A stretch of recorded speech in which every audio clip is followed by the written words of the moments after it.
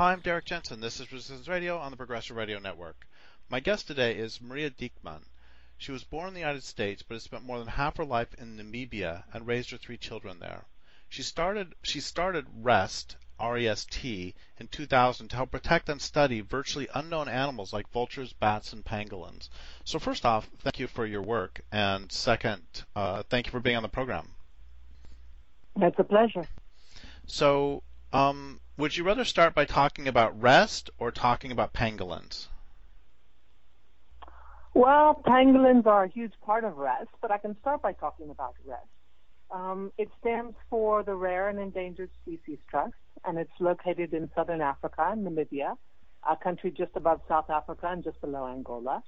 And we basically started the organization to help those species or those animals that pretty much either people don't know about or people haven't really cared about. Um, vultures, bats, tortoises, um, you know, certain little antelopes, frogs, a snake, um, and of course the pangolin are all species that until recently um, very few people have known anything about any of them. And so let's let's then start. We can talk about the others too, but let's start with the pangolins. Um, who are they? What's their range? What's their historical um, population? And what is what is so great about them? And what is happening to them? Well, those are all really good questions, and some of them I can answer, uh, but other ones just we simply don't know anything about pangolins. It's a small little creature, about the size of an armadillo in America, and very similar to an armadillo in that it's got scales. It's the only mammal with scales, so she gives live birth to one little pup and um, suckles him just like a human would or an elephant would. Um, and they're just stunning little creatures. They're very, very intelligent. They have a small head, and usually a small head indicates an animal that's not as intelligent as, as maybe some of the others. But they're incredibly intelligent, very good problem solvers, but they're very, very shy animals. They're mainly nocturnal, but not entirely nocturnal. And if you try to study them or follow them, um, they roll up in a ball, they stress, they can die. Very, very few people have ever managed to hold them in captivity. Um, we're one of three organizations in the world that has managed, two in Zimbabwe and myself, for any length of time, because they simply just get frightened, roll up in a ball, dehydrate, and die within about two weeks. So it's a fascinating little animal. The problem that we're having in recent years is twofold one, nobody knows about these animals from the general public to researchers because they're not high profile animals, because they've been so scarce and, and not easy to track or monitor or study or even measure. You know, you can't even open them up. They're so, so strong when they roll up in that ball that you can't open them up. So they haven't gained a lot of attention. Um, unfortunately, what they have done in the last couple of years is gained a lot of attention in Asia, simply because uh, the scales are used for various um, traditional beliefs. I won't call them medicinal beliefs because there is no medicinal value in a scale that is any different than a fingernail. Their scales, the scales of a pangolin, are 100% keratin, just like your fingernails. They grow like our finger, human fingernails. They break off like our human fingernails. So essentially, they're exactly the same as a human fingernail. So the fact that anyone would believe that they have medicinal properties means that you could simply chew your fingernails and not, uh, you know, grind up pangolin scales. So they're in a situation at the moment that's dire. Um, it seems to be that they're replacing rhino horn. Rhino horn is getting very hard to get. Armies are going out in South Africa, you know, uh, and and all over the world people are really, really aware of rhino horn and elephant tusks. So the pangolin's sort of been able to slip through. And uh, it's become more of a problem than even we as researchers realize because we're suddenly finding shipments of tens of thousands of tons of scales, which means hundreds of thousands of pangolins. And we've literally got an animal probably on the brink of extinction without even knowing anything about it. So it's it's pretty pretty bad situation. No pangolin, uh, African pangolin, has ever been captive bred. We don't know the gestation of a, of a pangolin, so we don't even know how long it takes for a pangolin to be pregnant. Um, we assume she only gives birth to one pup because most of us have only ever seen one pup, but perhaps once in a while they could have twins. Nobody in the world, I think, other than us, know how they actually mate. Um, so there's a lot of really big questions out there. You know, looking at home range and and what they eat and where they eat and where they can habitat and are they solitary or do they sometimes live live in groups? Those are all questions nobody in the world can answer. Um, so I know you said that we can't answer these questions, but can you give a rough idea of, of range? Like, how far north do they extend at all? Does anybody have? I mean, I presume. I mean, just to be absurd, I presume that they're not in the middle of Germany. You know, I mean, they're where. What is the general? You know, at least countries where they might be. Well, there's four species in Asia which are pretty much extinct um, because of the, the trade in them, and there's four species in Africa.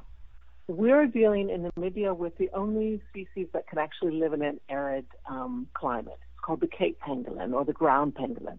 Um, a stunning, stunning little creature. Um, incredibly um, independent, um, not ferocious at all. They've got no teeth. They have this tongue that's almost as long as the body that they stick down holes and they mainly eat ants, sometimes termites. Most of the information that you'll get out of the books doesn't um, agree with most books don't agree with each other, and I disagree with most of the books. So um, it, it's it's quite an interesting phenomenon. But you've got them only in Africa, only in Asia, and like I said, the Asian ones are are in serious trouble, and now the Asian market is is making the African ones in serious trouble. As far as numbers, we've got no idea. Because it's such um, a rare animal. I mean, there are people, there are tour guides that have been touring Africa with guests for their entire lives. We're talking 30, 40, 50 years, and they come and they're spellbound when they see one of my pangolins. Um, if I happen to have one that that is not afraid of people at the time that I've maybe raised and we're preparing her for release or him for release, and they're able to see this animal and, and or walk behind it as it naturally walks in the environment. Um, they're spellbound because it's just an animal that you just don't see, and they're just so gentle and they're so loving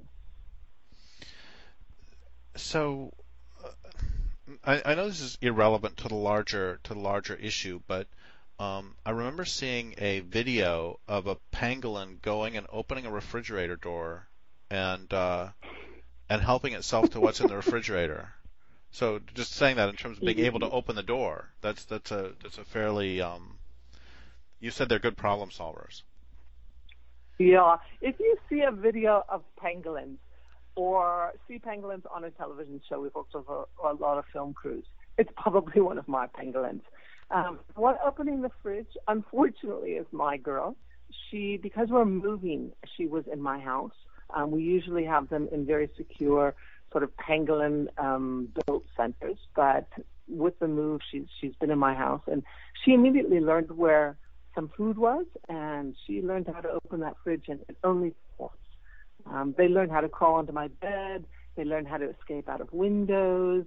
Um, I've had pangolins climb curtains. They're incredibly agile animals. They use their tail basically as a hand to, to push up or to pull down. So they've got a really, really strong tail. And yeah, as you saw in that video, um, really, really intelligent animals. So let's go. Let's go back to the to the to the slaughter of them. Do they? How how um, how are they how are they primarily killed? Are they killed one by one? Are they poisoned? How do they how do they what what what are the exact threats? Well, basically, what we think happens for the most part is we've got a lot of um, impoverished people in, in Africa, um, particularly in our country too. Although our country is one of the most prosperous in Southern Africa, but you've got a lot of people that are maybe cutting bush. We've got a lot of alien thorn bush that um, farmers will want cut off. And so you've got a lot of people in the bush or walking in the bush fixing fences, and they've got time on their hands. So all they have to do is look in every single hole, and eventually they'll find a pangolin. The perception is that when you find that pangolin, you're going to be a wealthy man. uh, or woman that you're going to, you know, be able to sell this for a fortune, and and that's actually a misperception, because while they go for quite a high price in a restaurant in Hong Kong, the guy in the field, as with most uh, enterprises, doesn't get much. So I'm often approached to buy pangolins. Um, I refuse to buy a pangolin. I will not buy a pangolin as much as it breaks my heart if I can't save that individual. But as soon as I pay for a pangolin, I stimulated the market. And that guy's going to go back out, you know, and I suddenly got a thousand rand, uh, what's that, probably about a, a $75 uh, US dollars in his pocket. And, and he's going to go out and he's going to technically go out and search for more and more pangolins so that he can sell me more and more. So it's a bit of a catch 22 in that regard. But once they find them in the hole, now these pangolins, remember, are incredibly, incredibly strong, even though they're small. So they push themselves in that hole, and they they are very hard to get out. Um, often their legs come are broken when they come to me, uh, or they've got some serious internal damage. Sometimes people find them on the roads. This time of year, it's our winter, so the grasses are low, uh, and and pangolins are sometimes found on the side of the roads. I've actually had two come into me last week. One had been uh, run over um, and had some internal injuries and unfortunately died a couple of days later. And the, the large female, who I'm sure was pregnant, um, was able to be released back out in the wild in a, in a secure area. But for the most part, it's just luck. You go along, you find the pangolin uh, in a hole, and you you find one way or another to pull it out. For the Asian market, it doesn't matter if it's alive or dead. So, uh, you know, that's not a priority for them, it's keeping them alive. And they are virtually impossible to keep alive in captivity. This is not a pet. Um, you know, we've been really, really successful, uh, particularly raising. I've now raised two babies, and I think there's only one other one other woman in the world who's, who's managed to raise two baby Cape pangolins successfully. One I've managed to get out back out into the wild. The other one, who happened to open up a couple of months ago is, is still with me. She'll probably be with me for a couple of years before she's ready to go back out. So what what do you do? How do you you end up with the ones that are um, that are uh, hit by a car or something? How what how do you what what do you do at the at the at REST? Yeah, I end up with all kinds of creatures that are either babies um, that are injured, or particularly with pangolins that come off the black market.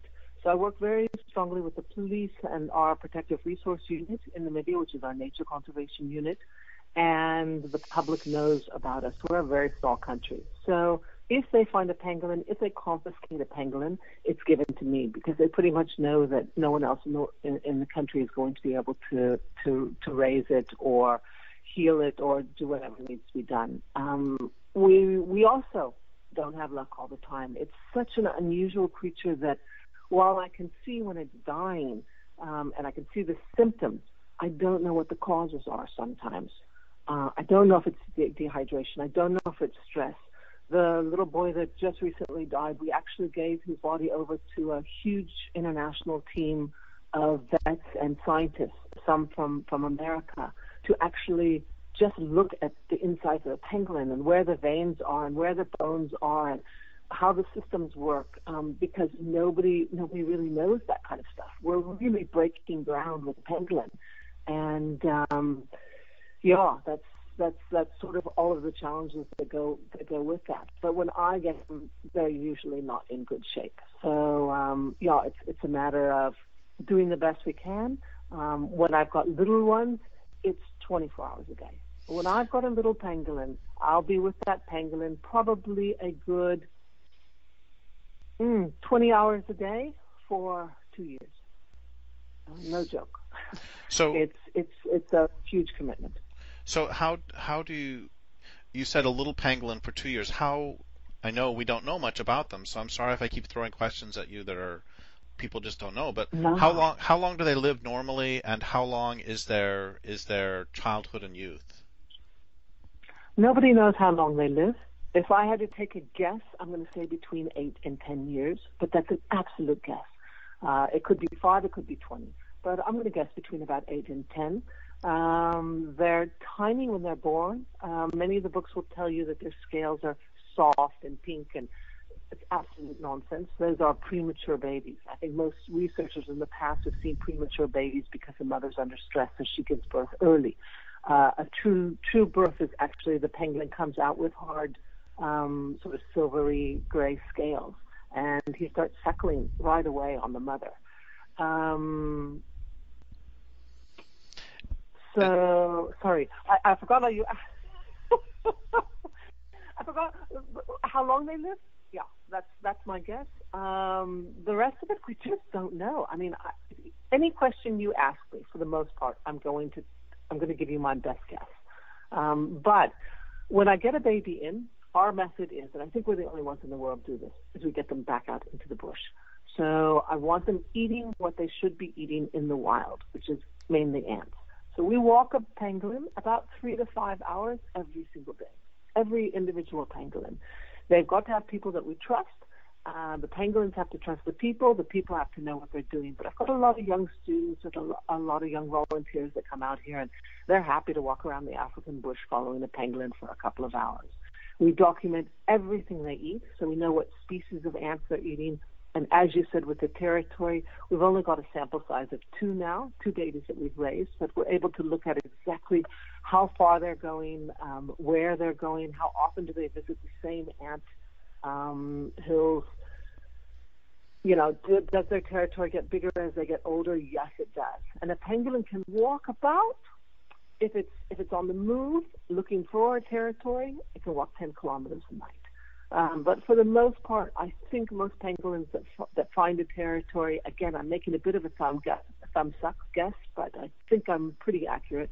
Will probably be about a, a two miles, a square two mile. Um, will be their home range. If another pangolin comes into that range, we're not sure what happens. We think that that pangolin will chase, you know, the, the, the pangolin whose territory it is will chase the other one out. And what about gestation? How how long and and you said early on, I believe you said that we don't even know if they gather in groups. Like, okay, I live in bear territory, and I see I see bears and mother bears and baby bears every single day, and in mm. in bears, in black bears in the United States, mother bears are the ones who have a territory, and the males basically just go around, and they might come around to to to have sex with the females in the spring, but other than that, the males don't really have a home territory. Is it? Do we know anything about that? That, that do the do the do the the female pangolins hang out, and the men are they like that, or are they different? We've got no idea. I mean, we truly have no idea, not even a guess of an idea. It's most of the books will tell you that pangolins are completely solitary because they're usually found individually. A mother, however, with her young pup, we I'm going to guess probably until about the age of six months, will be incredibly protective of her of her pup. Um, a baby is called a pup. So at night she'll circle around it, um, and and he'll curl up inside her. And during the day, once he gets a little bit older, he actually climbs onto her back and he rides just above her head on the top of her shoulders. And she's got perfect balance between her tail and her and her front feet. And she actually walks on her back feet. She's got four feet, two front, two back, but for the most part, they actually walk on their back feet. So they look like little dinosaurs. And in fact, it's starting to come out. They're probably one of the oldest living creatures still alive, along with the crocodile. So their their their history goes way, way, way back. Um, you know, to to way before most of the creatures that are that are on on our land now. But as far as do they come together or not? I don't know. I have found three pangolins, a young one, a middle-aged one, and an adult, um, dead along an electric fence. Electric fences often kill pangolins because they hit the electricity and they roll around the, the wire, being frightened, and they electrocute themselves to death.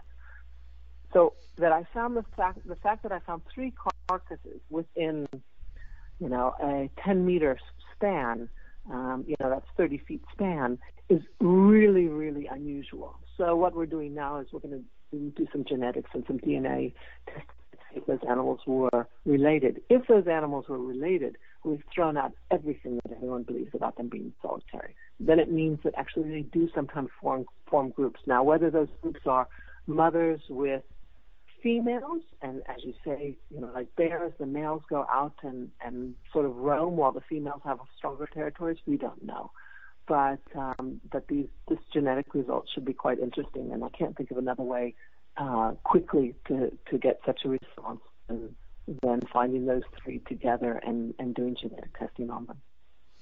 Um, apart from the people in Asia who um, eat them for phony medical reasons, uh, who eats pangolins?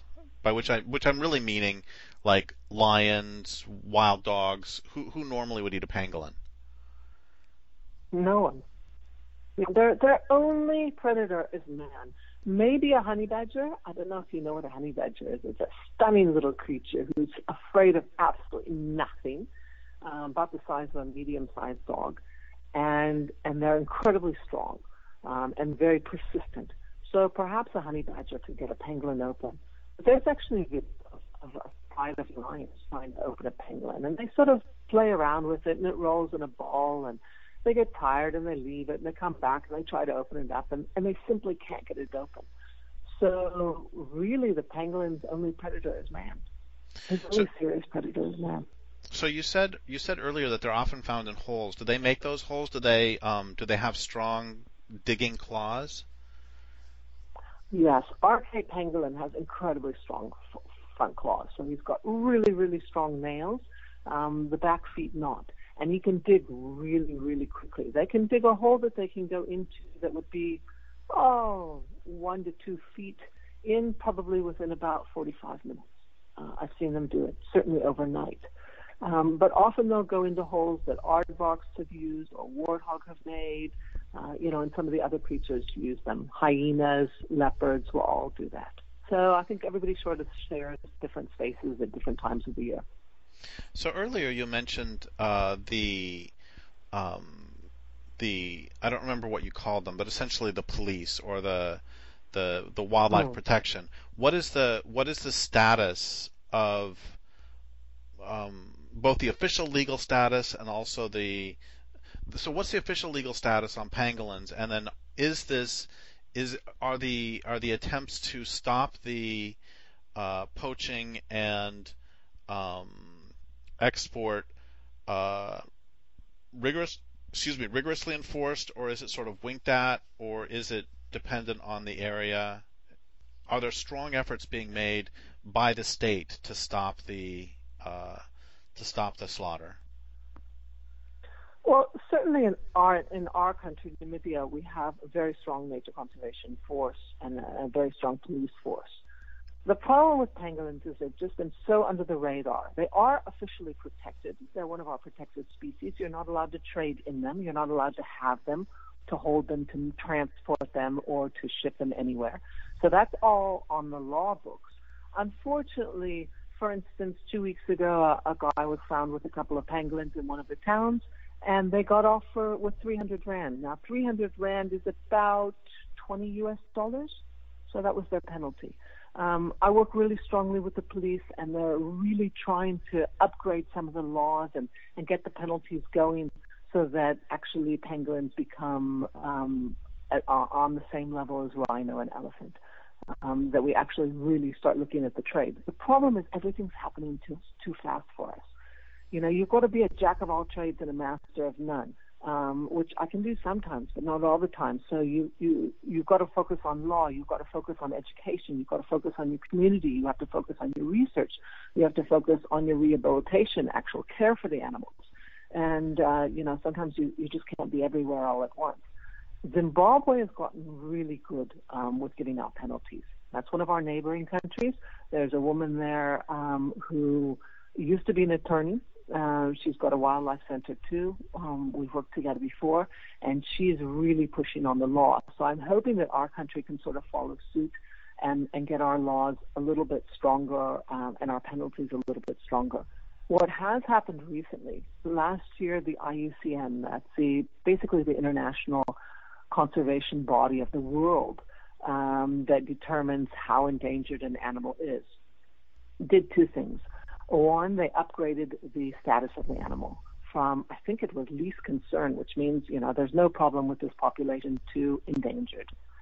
The, that immediately gives us the ability to um, justify funding and grants and publicity and you know all those kind of things that that can get the the face of the pangolin out there and the, the problems of the pangolins out there. The second thing they did was the almost the last sentence in the huge worldwide once a year meeting was um, the pangolin is now considered the most illegally trafficked animal in the world.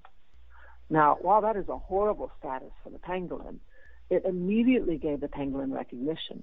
Um, soon afterwards, uh, a very famous personality, um, Prince William of the UK, went on to a site and was talking about anti-poaching and some of his work with, with funding anti-poaching uh, efforts.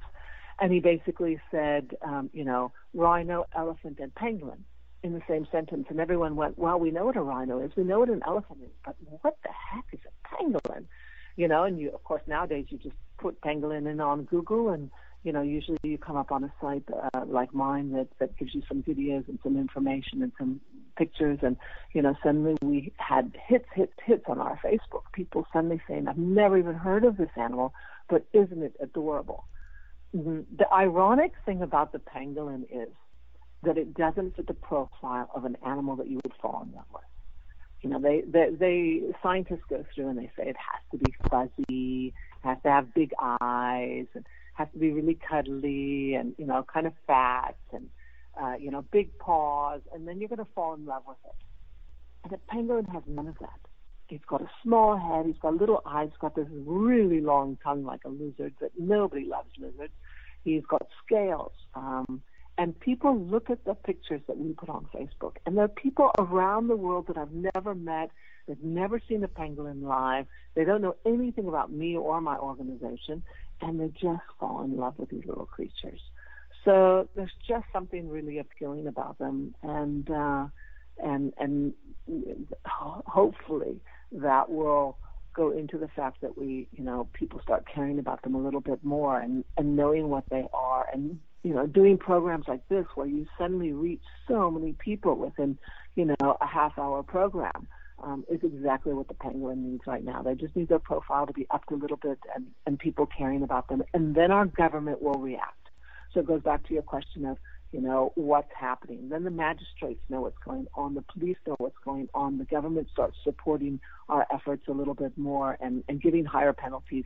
And that will slowly stop this, this entire trade because it's got to stop. It's got to stop. We talk about the word extinction so often that I think we almost become immune as humans to the word extinction.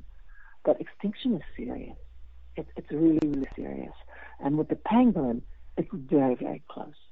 Um, we, you know, uh, last week I think it was four tons, four tons of pangolin scales. Now a pangolin weighs, um, I've got to now compute it into pounds, but a pangolin, an, an adult pangolin weighs about no, let me think. You about 20 kilo- pounds Okay. in, in kgs. Yeah, it's about 8 kgs. I think that's about 20 pounds. Um, Right. And, you know, if you think four tons of pangolin scales. Now, that's dead, dried pangolins. So, you know, you've got to at least uh, half it. And you're talking about a heck of a lot of pangolins on one ship. So you said that things have been moving pretty quickly. Can you can you give us a brief history, as you understand it, of pangolin uh, trafficking? When did when did it when did it kick into gear? Um, you know, 40 years ago was there a lot of trafficking? 50 years ago, when did it when did it really really start and and explode? It's really only exploded in the last couple of years. Before this, uh, there were some local eating of pangolins. One of our local tribes believed that if you found a pangolin in the bush, because they were so rare, you caught it and you took it to the chief, and the chief would throw it in the fire, and everyone would eat from the meat and have good luck for a very long period of time. So you had those small instances where pangolins were, were caught and consumed or used as bushmeat or some other purpose. But the, this strong trade, this Asian trade, has literally only happened in the last couple of years. And as I said before, it totally caught us off guard. We knew that there was a trade, but we weren't really sure how big it was. And then suddenly, with this focus on rhino and elephant and looking at shipments and the UK and the US and much of Europe throwing money into anti-poaching because of terrorism aspects and that and that uh, whole, you know, funding aspect of it. Suddenly, there was a lot of money going into policing and a lot more motivation to police. And as soon as that happened for the rhino and the elephant, they started going onto these ships and they started just finding pangolins. Pangolins are much easier to move. Nobody's looking for pangolins. They're looking for, you know, the sniffer dogs are trained for ivory. They're trained for rhino horn. They're not trained for um, specifically pangolin scale. So we've got to change some of the systems. But for the moment, we're just riding on the back of the elephants and the and the rhinos. And that's when we suddenly realize, wow, this is much much worse than what we thought. Uh, you know, if I have to try to compute in my head off the top of my head, the last couple of years, there's probably been about mm, 30,000 tons of pangolin scales confiscated on maybe eight to 10 ships. Uh, and, you know, that's probably a drop in the bucket. Think of all the ships that are actually getting through with pangolin scales and how many scales are getting on the market. So it's, it's quite a serious scenario. And so 30,000 tons is how many pounds is that? 30,000 tons times 2,000 is 300,000, 3 million. Was that 60 million pounds? Is that right? I think it might be. Uh, six... I don't know. I was never good at math. and so if we presume, I might be off by a factor of 10, but let's pretend we aren't. That's 60 million pounds at if they weigh 20 pounds when they're when they're alive, and if they dry out to half, say, that's uh, 10 pounds per would still be that's still 6 million pangolins for a creature who is not and those are the ones that, that are discovered and that's for a creature that's not social we we don't think and that has a range of 2 miles so that would be that's that's that's an area of now math is going just going to go crazy, and all the math people in the audience are going to go, "Wow, he's really stupid." But was this 1.2 million square miles that would be denuded of pangolins through that? Something. I mean, obviously, it's just I don't know. See, see the pants, but the point is, it's a huge range of area that would be that would be yeah. depopulated of pangolins just through that. Those are just the ones caught. That's horrifying. Now, people that are writing articles are saying the pangolin is the animal that will go extinct before we even know what it eats. I mean, you know, that's just crazy. That's just crazy. And it's just such a nice little creature. It doesn't hurt anyone. You know, it doesn't, uh, it's, it's not a predator. It doesn't catch your livestock. It doesn't harm your grasses. Um, it doesn't do anything to the human. Nothing, nothing, nothing. It eats ants. Um, and even then, the ants are actually able to um, uh, produce a, an acid within, I'm estimating, one to three minutes from my research watching pangolins that actually protects the ants. So a pangolin will only stay at one ant place for about anywhere between 30 seconds and three minutes, and then he moves on. So the even the ant colony is protected. So we're we're literally talking about a creature that does absolutely no one, um, you know, serious harm or any other creature or the environment any serious harm, and yet we're decimating it. And you said earlier that you pay attention to how often they return to the same anthill. How often do they return to the same anthill?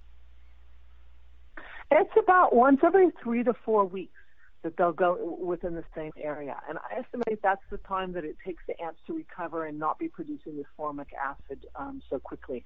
And even then, they might not be going to the exact same ant uh, place um, because they'll find ants that you and I would never see. It's not just you know hills or the big termite hills that we often think that animals go to. It's just a little hole in the ground, and you know he starts digging or she starts digging, and within 30 seconds, you know they've opened up quite a big area and they're down into the eggs or or just licking you know up the ants. Their tongue is, as I said, really long and very sticky. So if they just stick it into the the ground, many of the ants will just stick onto it and then they just bring it up and swallow it. So it's it's quite an interesting creature. And also, if they have, if they go back every three or four weeks, this is, you know, I happen to do some some uh, research on squirrels last summer that a squirrel will now I can't remember the numbers, but I think it's like they will hide I don't know what it is, you know, 20 2600 or 26,000 some huge number of of of acorns through the winter. And they will they find about this number is right. They find about 25% of them. So the point is they have a really good memory. And the same thing with chickadees, mm. little birds, that they will hide lots of seeds all over the place and they can remember like 25 to 50 percent of them. So the point is, the pangolin also has to have a very good memory to be able to remember. Um, if it goes to each anthill for only, you know, 30 seconds or something, and if it goes only every three weeks, that means it knows the location of a lot of anthills. Well, certainly they can also just sniff them out. So they're they're obviously looking for new ones all the all the time, and you know they they walk in a serpentine. They they all walk in one direction, uh, in general, but it's a it's a huge serpentine. But certainly you're correct in that um, at least you know I'm looking at a very small sample size, but you know of all the ones that I've walked behind for longer periods of time, which is pretty much the babies that I've raised, um, and the, that's years of research on each of them. Then they've got their favorite places and they know where those favorite places are. And they don't visit them all the time, but they can beeline straight to that place when they're really hungry. So it's it's a really good point that you make that they've got a very good long-term memory too. So can you tell can you talk more about the establishment and the the the running of the Rare and Endangered Species Trust? Yes, it was established in 2000, the year 2000, and basically we um, were first working with the Cape Griffon vulture. The Cape Griffon vulture is a vulture found only in southern Africa. It's endemic to our area. It's the largest vulture in the area, um, or the heaviest, and not the largest, but the heaviest. So it's probably flying the highest. And it's Namibia's most endangered species. In fact, I think it's just been declared locally extinct. So I was living on a farm not far from the cliffs where the last Cape Griffons were, and I just wanted to, you know, help somebody to help somebody else save the vultures. And we had some guests visit us. We had a little tiny guest farm, and I just knew the people as Art and Pris. And lovely, lovely couple. And got sat, sit, sat chatting one one afternoon on the stoop, and I realized that Art was the CEO of um, Disney, of the wildlife park, which is one of the most amazing wildlife parks in the world um, in California and Chris was his wife. So we got talking. He had been very involved with the California Condor um, project, and the California Condor is a vulture, probably one of the most endangered in the world, and probably one of the most amazing conservation efforts that anyone in the world has ever done was bringing back the California Condor. I mean, the Americans and the Californians put so much money and time and effort, and actually still do, into that bird. So it's pretty phenomenal um, experience. And we got talking, and suddenly I realized, you know, this is sort of the guy of my dreams, you know, as far as a mentor. And I said to him, you know, how do I get somebody to do this that I can help out? And he said, Maria, you don't get somebody else to do it. You've got the passion, you do it. And I mean, I had not a lot of wildlife experience at that point. So I sort of sat down and put my thinking cap on and talked to a few of the top conservationists in our country, and they all supported the idea and that's how REST was founded. So it was founded for the vultures. What we did was we started looking at different animals that need support. So the spotted rubber frog is a frog that's virtually unknown, and, and the dwarf python is a snake that nobody really cares about, but it's a fascinating little snake. And the Damara dik um, the African wild dog, the Cape vulture, and the pangolin became sort of our forgotten five. Well, we were forgotten five, and then Nature Conservation asked us to add one, so we were forgotten five plus one. So we sort of focused on those species, but as soon as you work with vultures, then you get eagles and owls and you know all sorts of little raptors, and you know as soon as you work with one snake, then you know people think that you're an expert in those snakes. And uh, I'm not a snake expert. I'm not a frog expert, um, but I'm I'm getting much better with my my vultures and my pangolins. And in fact, I'd say we're probably doing some of the some of the best groundbreaking work in the world. Well, the one of the points of of all of my work, and I I don't know if you know this, but as well as this program, I also I write books, and I've got like 20 some books out, and the whole point of all of my writing is to try to get people off their butts and to get them to um, do something good for the natural world. And so when I hear stories like yours, it makes me really excited and happy. Um, so so can you can you talk just a moment about uh, give give words of encouragement to people who might want to do what you are doing, but um, are still talking themselves out of it? Can you help them? Can you help shut down those voices telling them not to do it? Because it's too much, it's too scary, it's too hard. I can never accomplish anything. I will never be. I don't know enough. So can you can you shoot down all those ideas so that they can actually get off their behinds and work? It's actually so easy for me to shoot down those ideas because I studied politics at university and was working in politics and actually came to Africa looking at the political situation. Mandela was still in jail. Uh, apartheid was still sort of the, the rule of, of law in, in southern Africa. And I thought I would be over here for nine months. And then I would go back in the States and I would work in the Senate. And, you know, my friends sort of expected um, invitations to the White House. My life has changed a million, uh, uh you know, a million percent. And if you have any interest in the environment, and you should, whether you're a computer analyst or you know somebody who who lives with bears like you, you know the environment is where we live. So if we don't protect our bees and we don't protect our atmosphere and we don't protect our bears and you know all of these creatures that we have, we're going to lose our world. Um, so it's vitally, vitally important. And if I can do it, anyone can do it. Um, you know what is what is, is a matter of is just being motivated. You know, I say to people, I think I'm one of the happiest women in the world. I really, really think I am. Um, recently, we've had trouble with with land. Um, we've had to leave our land. In fact, all of my animals are in temporary cages as we speak um, because we thought we had found a, a beautiful little home bordering our national park, and unfortunately, the gentleman who, who sold me a little piece of his farm um, ended up being someone who shot all of my animals that I released. Oh my um, God! Myself, yeah, it's it's it's just been it's it's been a nightmare actually, um, because I I raise a lot of animals um, for me and for REST. Absolutely, 100% essential. If an animal can go back out into the wild, it goes back out into the wild. I don't need to keep a bird in a cage. I don't need to keep an animal in a in a yard um, you know, enough come in and come out that, you know, I've got an, a strong mothering instinct, but I don't need to keep anything. And, and for me to see that animal, if I've spent a year or two years or three years getting it ready for the bush and watching it fly away or watching it walk away or having it give birth to its babies in a hole and then bringing the babies to me a couple months later and just letting me look at them and then going away back out into the bush with them. It's, it's the best feeling in the world. Um, so, you know, anybody who wants to work in the environment can certainly work in the environment. Anybody who doesn't want to work every day in the environment can support those of us that do. Um, you know, read books like your books. Um, you know, get onto the internet, watch videos because sometimes they're hilarious. Um, you know, of, of our wildlife.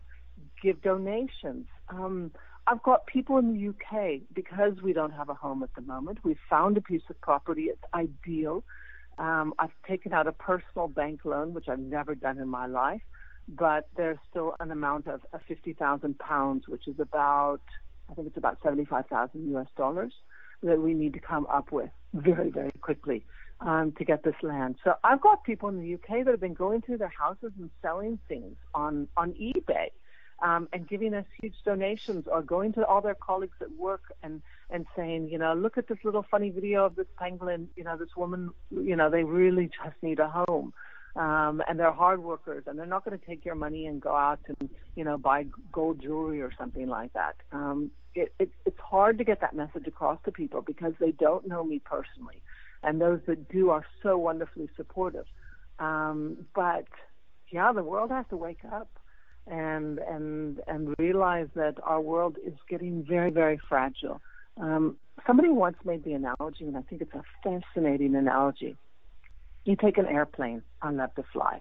Um, we fly hang gliders and microlights and everything in my family. But you take an airplane and you take a couple of pop rivets out of it, and it's still going to fly. So you put it on the ground and you take a few more pop rivets out, and you're still going to be able to take off and land. And the next day, you're going to take a few more out, and the next day, the same. And finally, at some point, you're going to take out that last pop rivet that is essential, the one that, the one that you just it can't lose anymore. And your plane is not going to make it anymore. You are going to crash.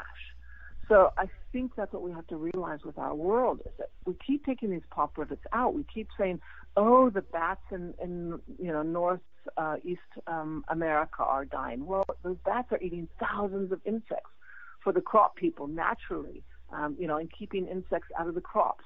Um, oh, the bees are dying. Well, goodness gracious, it's, uh, it's a lot more than the loss of honey. It's all your citrus farmers are going to lose their pollination um, you know, the pangolin's dying. Well, goodness gracious, you know, this is one of the most ancient creatures in the world.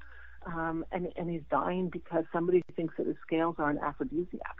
Um, you know, we need to wake up and we need to protect our world and, and you can do it in such small little ways, you know. Go onto the internet, donate ten dollars to some organization. You know, go to your local SPCA. Um, you know, listen in on your radio show, uh, you know, and just get motivated a little bit. And, and, and every little bit helps. Every little bit helps. And don't think that a dollar doesn't help somebody. A dollar goes a long way here. It's times 15, so it's 15 Namibian dollars for me. You know, don't think that your efforts. I've got two little girls in the UK, uh, not the UK, South Africa, that wrote to me. Now they're Afrikaans speaking, and they think that their community doesn't know enough about pangolins. So this is two little girls, 13, I think, 13 and 14 years old, in school still. And they do a school project and they do an entire website in Afrikaans, their local language. I give them pictures and I help them with the wording a little bit. And they're suddenly enriching their entire community. Now, if two little girls at 13 years old can do that, then anybody can do it. I mean, they've got a lot to teach us. Well, that would be a wonderful note to end on, but I do want to ask a couple more questions.